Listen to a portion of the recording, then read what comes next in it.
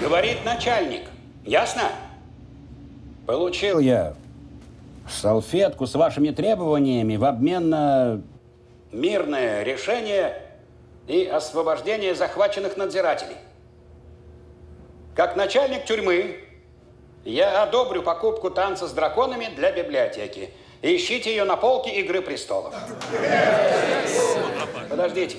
Тут заковыка в том, что ветра зимы и мечта о весне еще не изданы. В общем, я их достать не могу. К сожалению, ребята, это не в моей власти.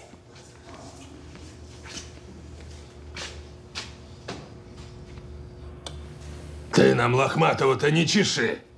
Джордж Рера Мартин обещал передать ветра зимы своему издателю два года назад.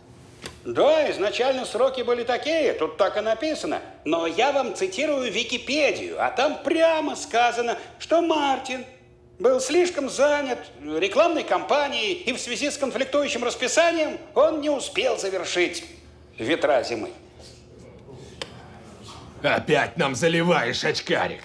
К нам в том месяце перевели двоих, и они знали нереальную кучу нового о блондинке с драконами. Нет, я же вам объяснял. Они наверняка все это видели именно в сериале. Давайте я опять зачитаю. Сюжет сериала ушел вперед. Он больше никак не связан с книгами. Oh, beautiful.